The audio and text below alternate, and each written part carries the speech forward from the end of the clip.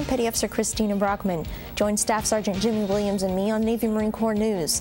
This week, sailors aboard USS Hawes rushed to the aid of their shipmates aboard USS Cole, who survived the blast in Yemen last month.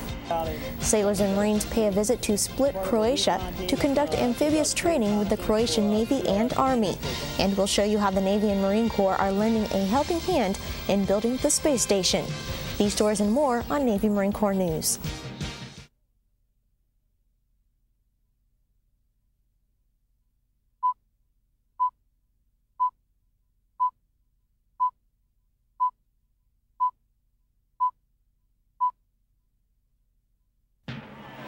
This week on Navy Marine Corps News, sailors aboard USS Hawes rushed to the aid of their shipmates aboard USS Cole, who survived the blast in Yemen last month. Sailors and Marines pay a visit to Split, Croatia, and train in an amphibious exercise with the Croatian Navy and Army. And we'll show you how the Navy and Marine Corps are lending a helping hand in building the space station. These stories and more next on Navy Marine Corps News. Good afternoon. My name is Andre Fletcher. We are the students from H.D. Woodson Senior High School, NJROTC. We are touring the USS Falcon. Stay tuned for more Navy Marine Corps news.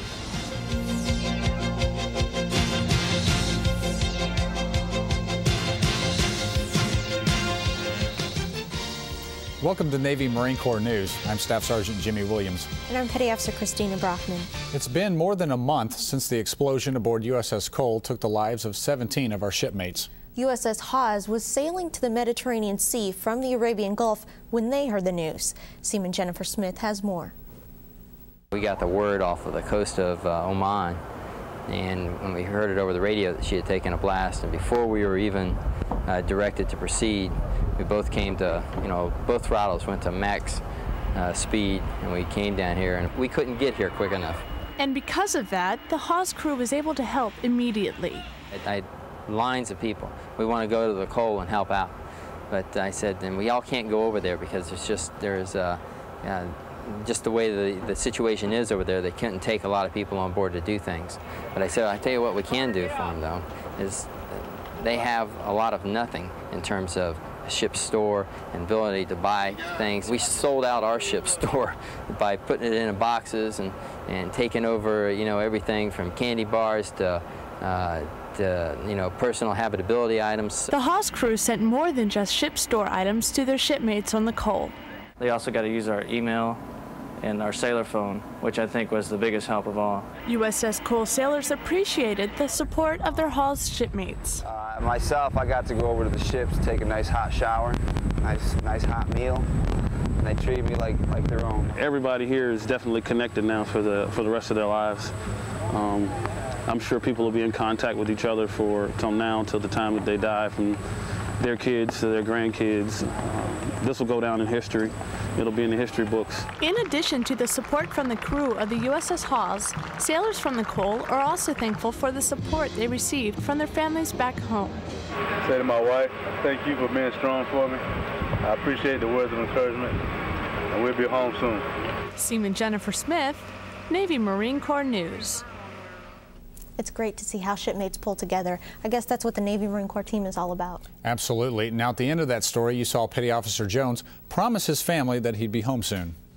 And in the beginning of November, he and 216 of his shipmates made good on that promise, returning to a hero's welcome in Norfolk. Family members waited anxiously as the chartered flight carrying their loved ones touched down and the Cole sailors made their way off the plane. For the returning sailors, it was an emotional moment. I have never been so proud to be an American and to land on American soil. we all burst into, into applause and start screaming when we hit ground here. The Cole sailors say they counted on each other during the crisis. We knew we had to get stuff done. We got it done. Um, we knew we had to get all of our shipmates off that were injured, and, and we got them off as fast as possible, and then maintained on getting the ship staying afloat, and we did it. But their loved ones back home say they counted on the Navy family in the days after the explosion. They kept us informed. Um, they have been a true family, you know, more than we have ever expected. Absolutely wonderful.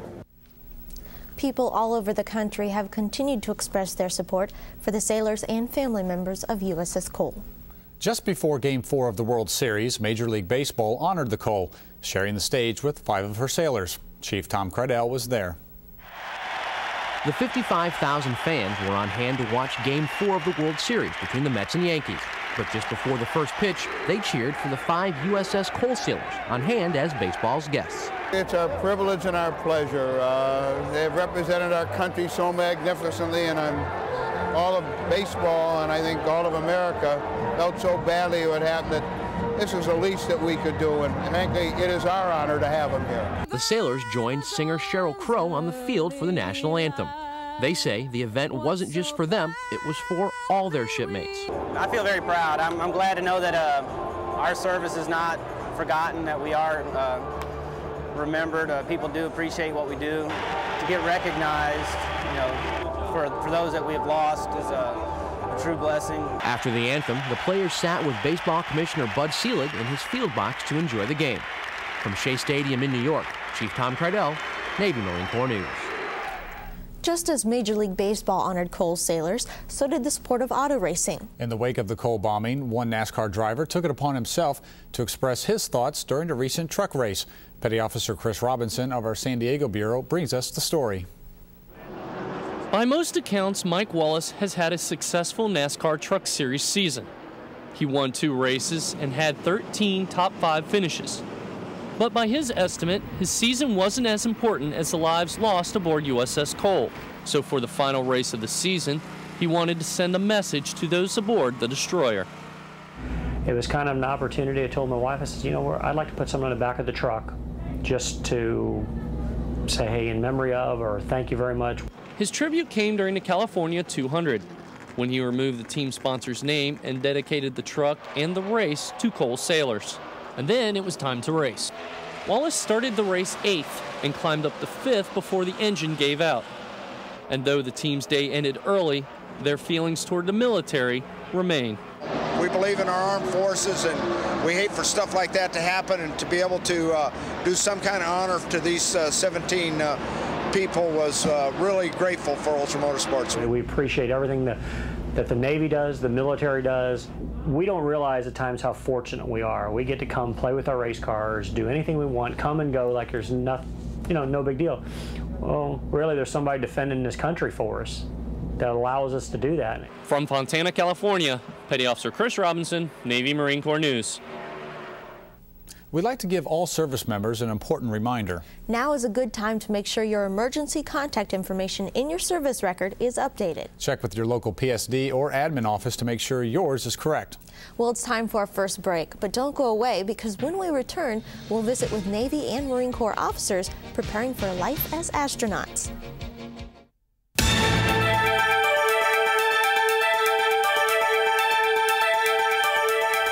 Hello, shipmates. MCPON Herdt here. There will be hundreds of ceremonies across America this week recognizing the great sacrifices of over two centuries of American heroes. They come from all races and ethnic backgrounds present in America, and they all had the same driving cause an unswerving belief in freedom. More recently, our shipmates on the USS Cole fought so heroically to save their ship and their shipmates for that same belief in freedom. They served with every ounce of honor, courage, and commitment that anyone could possibly expect. It's up to us now to carry on fighting for the cause of freedom. The world relies on us to pay the bill for a way of life that every human being deserves. What better cause exists for a team to expend its efforts than freedom? We have been, we are, and we will continue to be the best team in the world. Let us never forget the Cole. God bless you, and I'll see you about the fleet.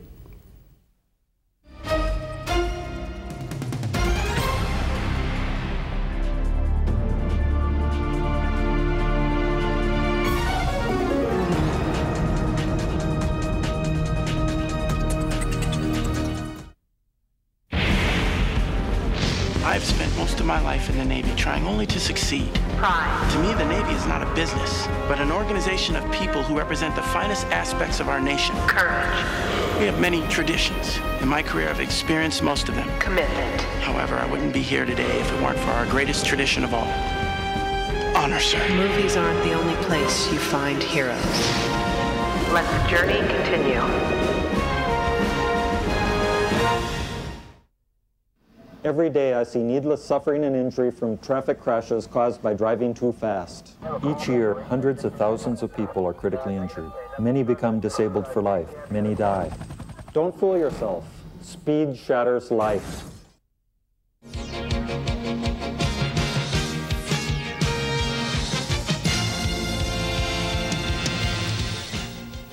Welcome back to Navy Marine Corps News.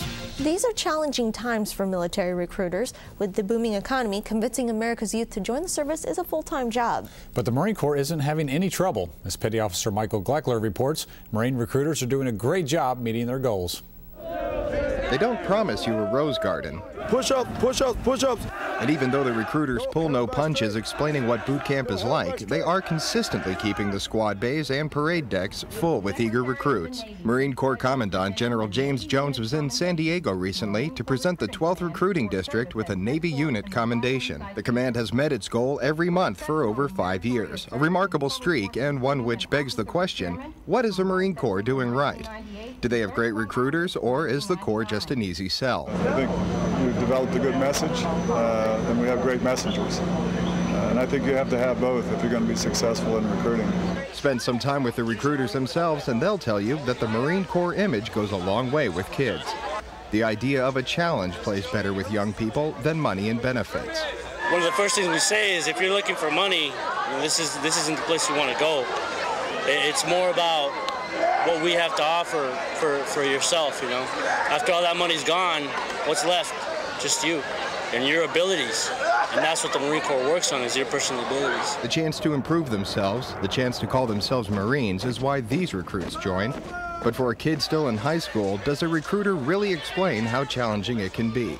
Absolutely we do. And, and I, I think that maybe one out of every maybe 15 applicants will, we'll probably lose them you know, because we show them the reality. Um, right after they take a, a, screening test, we show them the video. You know, we show them boot camp. Um, it, it's real people, real drill instructors, real yelling going on, and you know they're they're a little hesitant at first, but that's really why they walk through the door. You know, they want that challenge. They hear that boot camp is hard, you know, and, and that's why we're talking to them to begin with. You know, they, they, they approach us for that. It's not going to be fun, but uh, you got to do what you got to do. And I know what I want to do in life, and I guess the Marine Corps is my stepping stone. Petty Officer Mike Gleckler, Navy Marine Corps News. Sailors from USS Austin and Marines of the 26th Marine Expeditionary Unit, Special Operations Capable, recently paid a port visit to Split, Croatia. And while they were there, they took the time to train with the Croatian Navy and Army. The exercise was called Croatian PHIBLEX 2000. Petty Officer Nikki Maxwell has the details. The exercise involves amphibious assault drills, live fire training, and special forces operations. It's good to get out and train with other countries. I'm part of a recon team that's going to conduct pre-reconnaissance for a BLS landing for a golf company. Uh, they're landing uh, Zodiacs, so we're going to go check things out, check the objective out, and uh, send back reports. I'm the communicator for our team. I'll be operating SATCOM, uh, making sure comms up at all times. The reconnaissance information received from the Air Operations Mission was essential when planning the next event of the exercise, an amphibious assault on nearby Djurgården Island. Like any international exercise, there were some challenges to overcome. I'm a landing signalman enlisted. I direct all the aircraft coming in and leaving. Uh, it's a little different because, you know, Americans are used to our signals and stuff like that, and now we got new people to teach so they can learn how we operate out here. Uh, I feel it's a new uh, landmark for the Navy, bring more people, organizations into our, our organization with us, so we all work together as one. The cooperative training between the Americans and Croatians allowed them to share military knowledge and professional skills. The air, land, and sea operations benefited each country and their future military strategy, but it also gave them something even more valuable, a better understanding of each other. I want them to get out of it of knowing their counterparts. That's what it's all about. People knowing people. If they know people as Croatians and don't just see them as, you know, a country of Croatia, but they know people from Croatia and they know that those people from Croatia are just like they are. That's probably the most important thing that they can get out of because when they see something or they hear something, they realize, no, that's not true. I was there. I, I operated with these people. They're, they're, they're good people. They're just like we are. Croatia is a Partnership for Peace member and is actively seeking membership in NATO. Reporting from the USS Austin in the Adriatic Sea, Petty Officer Nikki Maxwell, Navy Marine Corps News. One of the exciting parts of being sailors and Marines is that we travel just about everywhere in the world. And as Petty Officer Miranda Williams of our San Diego Bureau tells us in our next story, there are some sailors and Marines who even travel out of this world. Right now, some 220 miles above the Earth's atmosphere, a sailor is making history. He is one of the first inhabitants of the International Space Station, beginning permanent human presence in space. I think the space station is going to be uh, vitally important, really, to the whole world for a, a lot of reasons. One, it's an international effort. There's 14 nations all coming together. It's also a research platform so we can understand more about the human body, so we can heal uh, problems down here on Earth uh, with the things that we learned from space. Construction in orbit of the ISS began in November 1998, and NASA sailors and Marines have been a big part of that process. Currently, I'm training for my next space flight, which is STS-97, uh, which will launch in November of 2000. I will actually be doing two, maybe three spacewalks. It's hard to describe how much I'm looking forward to this because I've been training for it for almost three years and the opportunity to go step outside and do a spacewalk is something that uh, I've been wanting to do uh, as long as I can think of. For some of these sailors and Marines, that dream began long ago. I can't imagine somebody my age watching guys land on the moon and not dreaming about being an astronaut. Um, that was, to me, though, sort of like being a a quarterback in the Super Bowl. Others found their dream during their military journey. I started out when I was three years old. I wanted to be a pilot. That was my dream from the very beginning. Uh, so I joined the Navy, and then uh, after flying with the Navy and going to test pilot school, flying F-14s, I applied to NASA. From the day they arrive at Lyndon B. Johnson Space Center in Houston, Texas, astronauts train continuously and learn important skills like land survival. I'm, i just want to check okay. 15, 16, 17 right. Scuba diving. Well, maybe the And spacesuit operation. Because there is so much to learn, astronauts wait at least two years to be assigned their first mission. The whole thing is just amazing. I loved every minute of it. From sitting on the pad and kind of waiting there, little butterflies in your stomach, the engines start and everything's shaking, and the next thing you know, you're rocketing into space. Once you're up there looking out and back at the Earth, how beautiful it is, it's just a tremendous thrill to be a part of. They're also thrilled to be sailors and Marines. It's easy for us to feel a little isolated from the Navy and the Marine Corps being here at NASA because it's a relatively small Navy presence and uh, we think about those folks that are spending a lot of time overseas and deployed now doing the hard jobs so that we can uh, do our job here and, and, not worry about it. So it's, uh, we appreciate all the efforts of the folks that are out there uh, away from their families doing the hard jobs at sea and on land. Although they are no longer serving on ships or overseas, these dedicated sailors and Marines are proud to represent their service and their country from the oceans of space. From Lyndon B. Johnson Space Center in Houston, Texas, Petty Officer Miranda Williams, Navy Marine Corps News. President Clinton recently signed into law the fiscal year 2001 National Defense Authorization Act, giving the Defense Department a budget of more than $309 billion. Some of the benefits you'll see include a 3.7% pay raise, TRICARE changes, and military modernization. Service members in pay grades E5 to E7 will receive a targeted one-time monthly raise of 32 to $59 beginning July 1st. Well, it's time for another break, but don't go away. When we return, we'll see what the Navy is doing to help its sailors become more financially aware.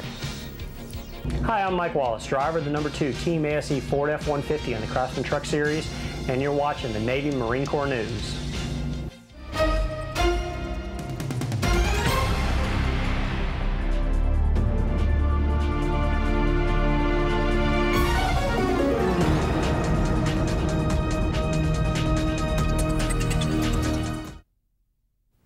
All right, keep your eyes on the watch. You are getting very sleepy. Your eyelids are getting very heavy. And soon you will be under my control, my complete control. Now I want you to focus. I want you to clear your mind. You are alone in this room, just you and the November All Hands. On the surface, you are very interested in the pictures it holds. But as we dig deeper, much deeper, you are captured by the stories that tell of this thing called the fleet. You are gripped by the engaging stories. You feel yourself wanting to be a Seabee in paradise. Now concentrate. Imagine it is you that is biking across America, Can you feel the wind in your face? When I count to three, you will come out of your deep sleep and become one with the November all hands. You will be one with the fleet. But first, quack like a duck. I love that part. Don't keep your friends and family waiting. Get your holiday mail out early. Here are the dates for delivery to U.S. addresses Parcel Airlift and Space Aid by December 8th, and Air Letters by December 11th. For delivery to APO and FPO addresses, Parcel Airlift and Space Aid by December 4th, and Air Letters by December 11th. Don't let your family down. Get your holiday mail out early.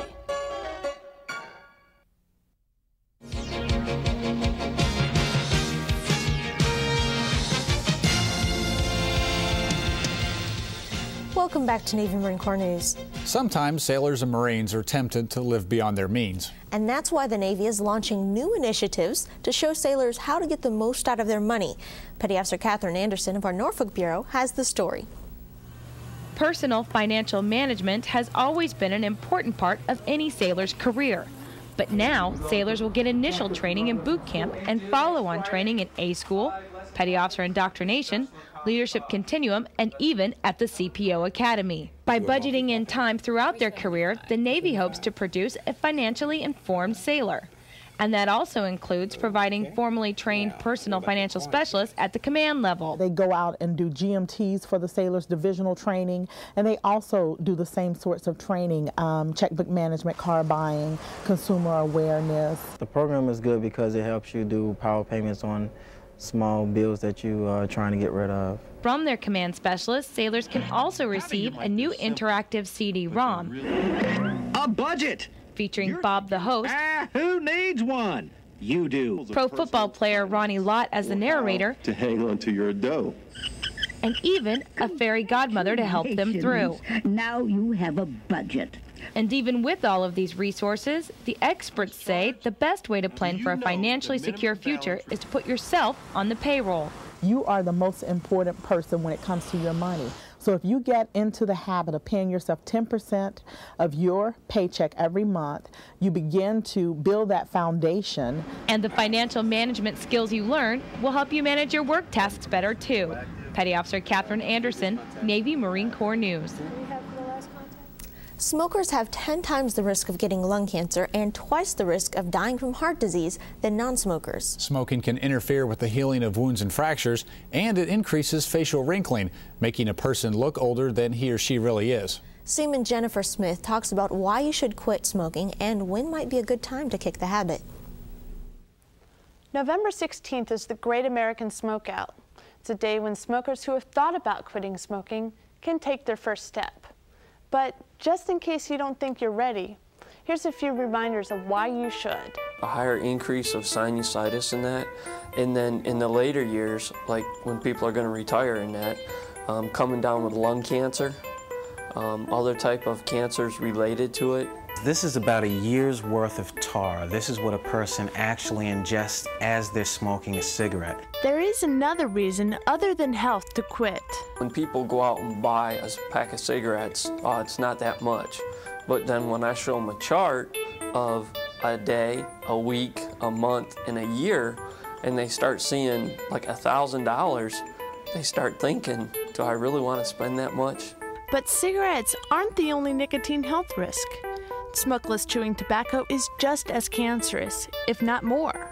The thing that people don't understand with like mouth cancer is when they find just a little speck in their mouth, they remove three centimeters around it, whether it's teeth, gum, bone, cheek, they take it out of there. So you know the negatives and you're thinking about quitting. Naval Medical Facilities can help you get off the habit. We have medication, we have patches, and we do the counseling, which is the most important thing. Yeah, I know it's not easy. I'm a smoker too. But don't you think a healthier lifestyle is worth 24 hours? I do. Seaman Jennifer Smith, Navy Marine Corps News. Sailors getting ready to transfer to a new duty station will want to check out Cyber Sailor. This week, Airman Chris Reynolds shows you where to go to look for that new set of orders. Bupers.navy.mil is the Navy's Personnel Command website, where you can get connected to information on pay, uniform matters, and most other administrative type issues. Among these links is one which all sailors will find useful, Bupers Access. Access is an online JASS viewing site where you can see the current available job openings in your rate. View only JASS is not available to see every day, but you'll find a calendar that shows you what days you can view it highlighted in green. Bupers Access also lets you submit an online duty preference form. Here, you can pick the top three locations where you would like to be stationed. You can also request extensions at Navy schools. Access saves you time because it eliminates doing this work with your detailer. Plus, the JASS is frequently updated, so all jobs are current. When you're done, you can return to the Bupers homepage to check out some of the other services it offers.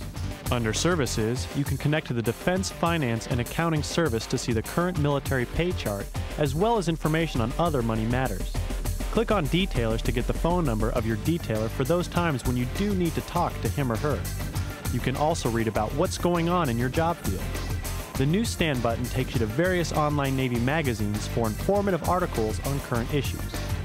Bupers Access and Bupers.navy.mil are both great resources. They're easy to use and very convenient, so take advantage of them. If you have any questions or if there are any other sites you'd like me to share with the fleet, send them to cybersailor at mediasend.navy.mil. I'm Airman Chris Reynolds, Navy Marine Corps News. Well, that's the show for this week. As always, we'd like to hear your thoughts and ideas about Navy Marine Corps news. So call our feedback line or send us an email. The number and address are coming up in a minute. But before we go, we'd like to say BZ to HM3 Gladys Jen of Naval Hospital Cherry Point, North Carolina. She was recently presented with one of six Distinguished Women of Craven County Awards. She's involved with numerous charity organizations such as Meals on Wheels, Habitat for Humanity, and Toys for Tots. Good job. We'd also like to say hello and thanks for watching to our viewers in Grove, Oklahoma, who see us each week on WEF TV Channel 43. As we celebrate Veterans Day, we like to end the show by reflecting on those who have served our country. We leave you this week with a special look at people commemorating veterans right here at monuments in our nation's capital. Until next week, take care.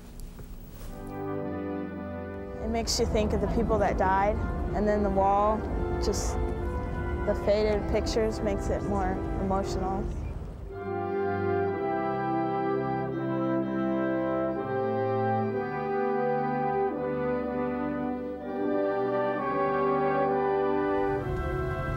You look at the names and, and uh, there's so many of them.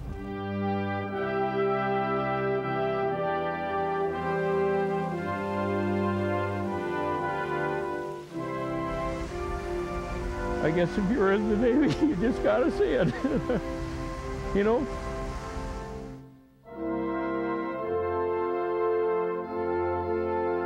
I felt like I was contributing. I was meeting people from all over the country. I was serving, I was helping out. I loved it.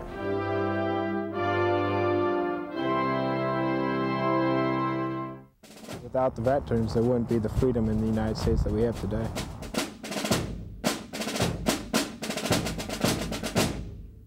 I love you, brothers. Every one of you. Just remember,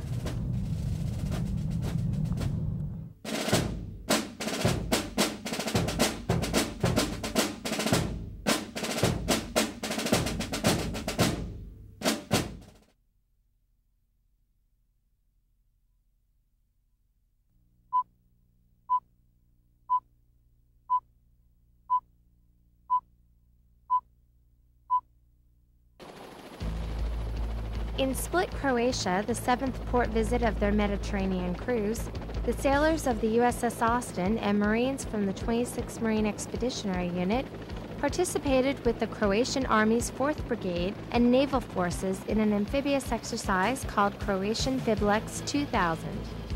The exercise involves amphibious assault drills, live fire training, and special forces operations. It's good to get out and train with other countries, I'm part of a recon team that's going to conduct pre-reconnaissance for a BLS landing for a golf company. Uh, they're landing uh, Zodiacs, so we're going to go check things out, check the objective out, and uh, send back reports. I'm the communicator for our team. I'll be offering SATCOM, uh, making sure comms up at all times. The reconnaissance information received from the Air Operations Mission was essential when planning the next event of the exercise, an amphibious assault on nearby Jergay Island. Like any international exercise, there were some challenges to overcome. I'm a landing signalman enlisted. Uh, I direct all the aircraft coming in and leaving. Uh, that's a little different because, you know, Americans are used to our signals and stuff like that, and now we got new people to teach so they can learn how we operate out here. Uh, I feel it's a new uh, landmark for the Navy, bring more people, organizations into our, our organization with us so we all work together as one. The cooperative training between the Americans and Croatians allowed them to share military knowledge and professional skills. The air, land, and sea operations benefited each country and their future military strategy. But it also gave them something even more valuable a better understanding of each other. I wanted to get out of it of knowing their counterparts. That's what it's all about. People knowing people. If they know people as Croatians and don't just see them as, you know, a country of Croatia, but they know people from Croatia and they know that those people from Croatia are just like they are. That's probably the most important thing that they can get out of because when they see something or they hear something, they realize, no, that's not true. I was there. I, I operated with these people. They're, they're, they're good people. They're just like we are. Croatia is a Partnership for Peace member and is actively seeking membership in NATO. Reporting from the USS Austin in the Adriatic Sea, Petty Officer Nikki Maxwell, Navy Marine Corps News.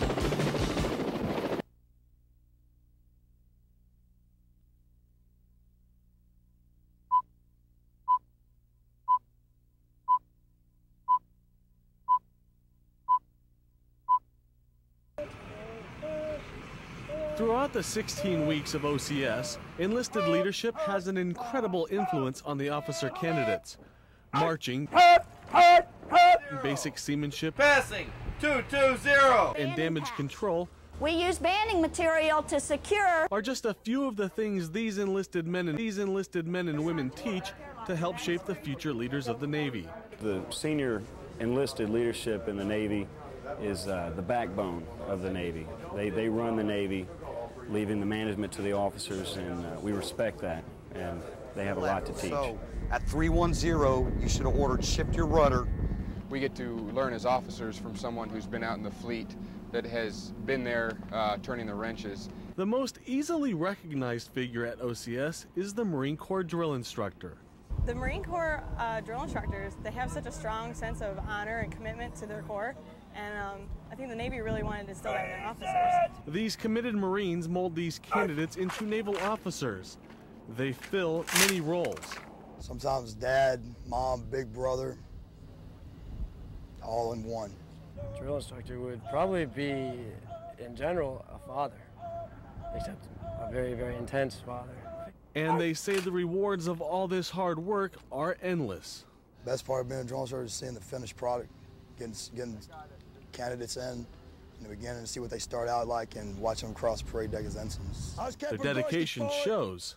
The drill instructor is probably one of the most impressive persons in this entire school. I want you to sit up straight, keep your hands away from your face, feet flat on the deck, but I do want you to relax and I want you to ask questions. Is that understood? Yes, sir! Drill instructor, he's actually an amazing man.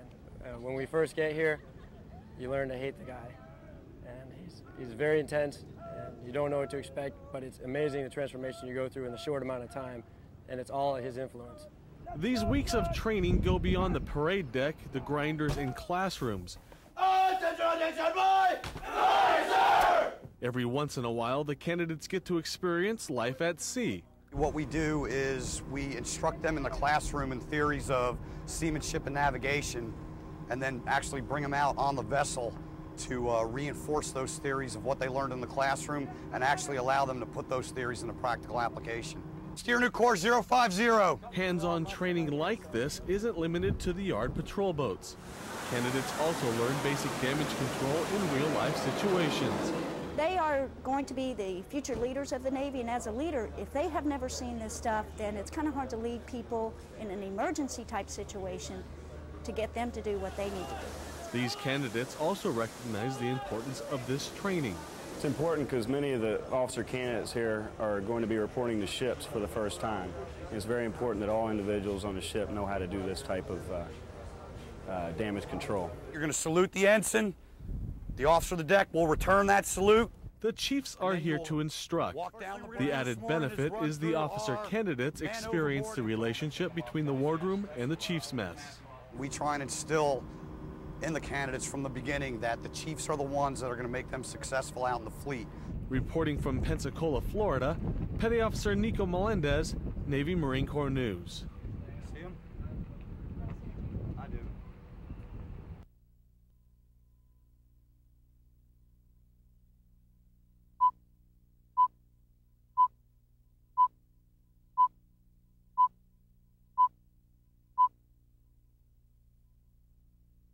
They have been called the greatest generation, the millions of Americans who served in the military and the civilians on the home front during World War II.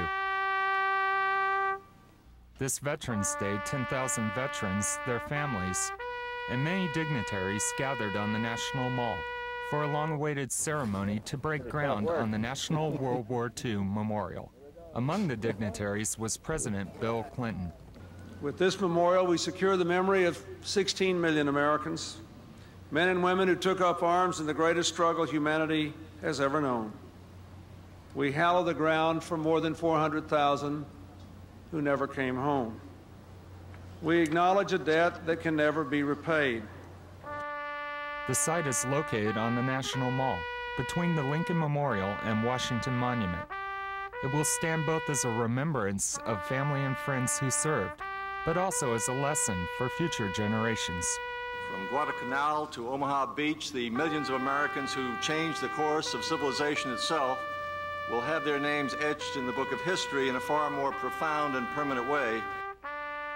This memorial is built not only for the children whose grandparents served in the war, but for the children who will visit this place a century from now, asking questions about America's great victory for freedom. The memorial is expected to be dedicated on Memorial Day 2003. Corporal Jimmy Perkins, Navy Marine Corps News.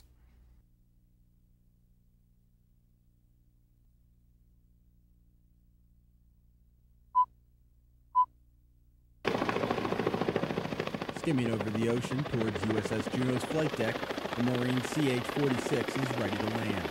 The pilot waits for the signal from the sailor on deck and then lands, only to take off and repeat the cycle. Uh, we were doing carrier qualifications. We are basically going around the pattern and uh, landing, preparing the, the air crew, uh, making sure that they're able to land on a small deck. For this to work, everyone has to work together.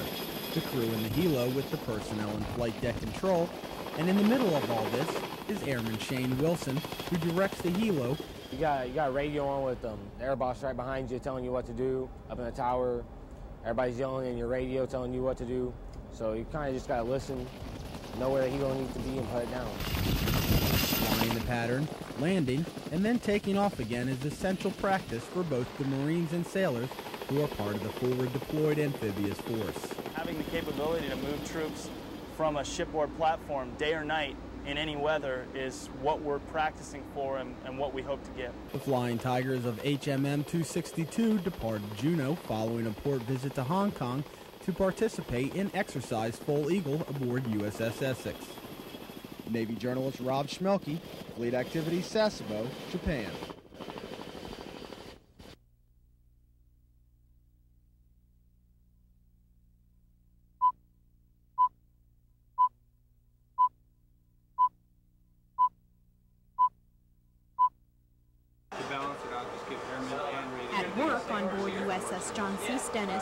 Sailor is dedicated to doing a good job. But after working hours, he's ready to forget about the day's worries and cut loose. For me, anyway, it helped the deployment go by so fast that it was like nothing. It was fun. It made it, it made it that much fun. And he's not alone. Many sailors across the Navy, including these sailors on board USS Abraham Lincoln, are strumming away their free time in off-duty bands. There's nothing more satisfying to the soul than picking up your guitar and you know, putting down a couple of licks and just relieving the stress that you, know, you might go through during the day. Keeping a band going is challenging but these sailors say it's worth it in the end. It's hard. We all stand different watches, different times. You know, there's days that we'll only get to practice an hour, maybe not practice at all. Judging from the support they get, their love of music is contagious. The MWR is actually helping us out, trying to set us up with different gigs. Um, when we pull into port, it really helps our morale a lot. And it helps the morale of, you know, the other people on the ship that we'll play for. Just the fact that I've been able to fulfill one of my fantasies to play on stage in a, in a club, but this outlet here has allowed me to, to fulfill that fantasy. It's through the, through the Navy that I was able to do that. Whether it's a dream or just a hobby, these passionate sailors are dedicated to making their bands work. From USS John C. Stennis and USS Abraham Lincoln, Petty Officer Miranda Williams, Navy Marine Corps News.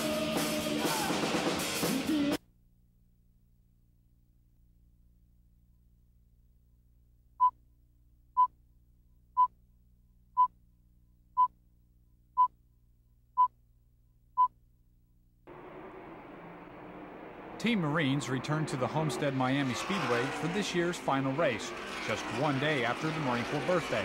The number 53 car sported a different paint scheme celebrating the occasion. But whether it's red, white, and blue, or just red or black, the number 53 car attracts a lot of attention from Marines nationwide. Well, it seems like it is because 98% of them that come and talk to me and say, hey, that's our car. You got to do good in our car. So they don't refer to it as my car anymore. It's, it's the Marines' car, and, and I just happen to be the driver. Joking aside, Hank Parker Jr. knows he's also part of the Marine team. It seems like they've really accepted me with open arms. But it's this man and his desire to give back to the Marine Corps who's made Team Marines possible. There's a lot of former Marines, and a lot of present Marines that are really behind this program and appreciate what we're doing. And it really all boils down to honor, courage, commitment, and integrity. And that's real, the real deal. And there's just so many of us out there that all feel the same way about this. The Marine Corps does not sponsor Rick Rathman's Team Marines Racing because that's against the government's General Ethics Code but the Marine Corps can buy advertising space on the car and team uniforms. And recruiting officials say the idea has paid off. The message coming in from our recruiting station commanders out in the field is this is a fabulous program and we want to continue to do it. And we hope to do so in the 2001 season.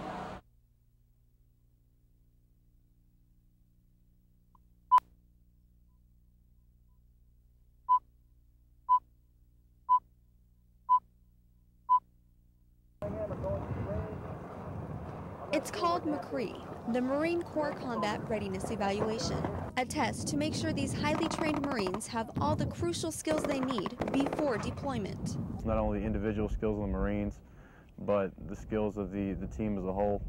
And if you can't work as a team, then you're not going to be able to complete any of these tasks. The evaluation covers everything from live fire exercises to a full-on ground assault. And while Marines around the world participate in MCCRE, 2-3 Marines are getting a little extra help from Marine Air Ground Task Force 3. We are here supporting them. If they didn't have us, they'd be humping it or using trucks, so we're pretty much helping them, supporting them, working together. The MAGTF acts as a conductor, coordinating all the different elements, from communications and logistics to air and ground support. Fire! Each unit helps give these motivated devil dogs a more realistic combat scenario. When you do a MCCRE, usually it's bits and pieces, but when you can get away, and you, like we've done here, we got everybody together, all different combat elements together, we're in one spot, and we can just concentrate on focus on what we're doing. And by helping ensure 2-3's combat readiness, each supporting element also gains valuable training. You get to see how everything's put into uh, play, and how everything falls in and uh, working along with the other Marines and whatnot, you get to see uh, how teamwork is the way things should be.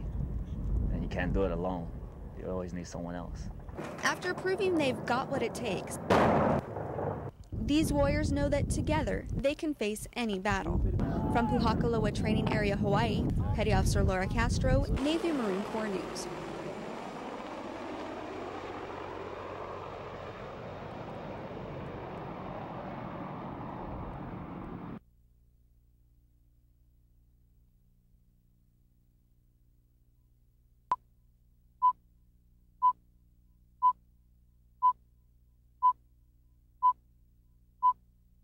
Struggle.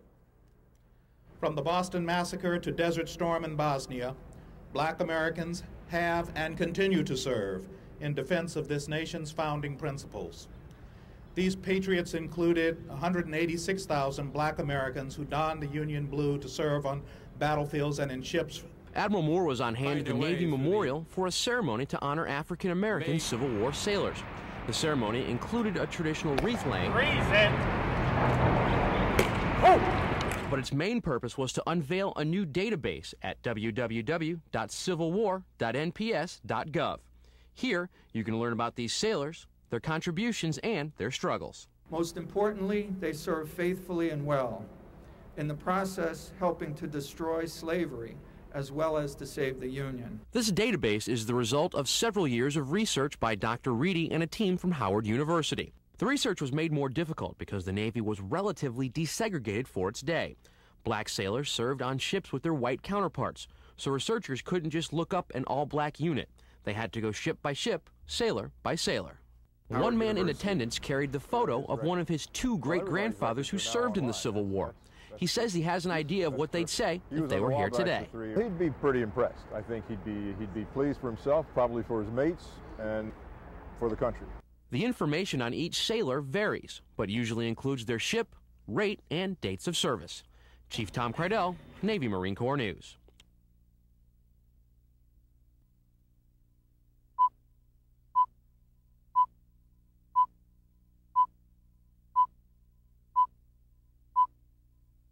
And here in Washington, uh, thank you for the inspirational example that you set every day, and thank you for sending us such wonderful young men and women Uh, to start out their future and help keep our Navy number one.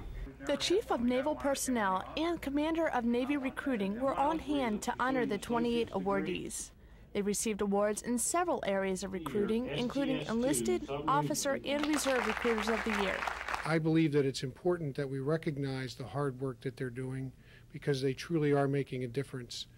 They're manning the Navy of the 21st century. An important task, and one the Navy's 5,000 recruiters take very seriously. No, I don't really feel I did anything special. I feel that the men and women that um, work for me or work under me, they're the ones that really did everything special. Many recruiters serve in their hometowns. One awardee says he became a recruiter because he wanted to give young people the chance to achieve their goals. The Navy provided me an opportunity to grow as a person and and I, I wanted to return that to my community and uh, prove them that you don't have to be a basketball star, make millions of dollars to be a role model. Most of the awardees say putting qualified men and women in our Navy is reward enough. But now they'll hold their heads a little higher as they go about that task, knowing the Navy recognizes them as one of the best. Seaman Jennifer Smith, Navy Marine Corps News.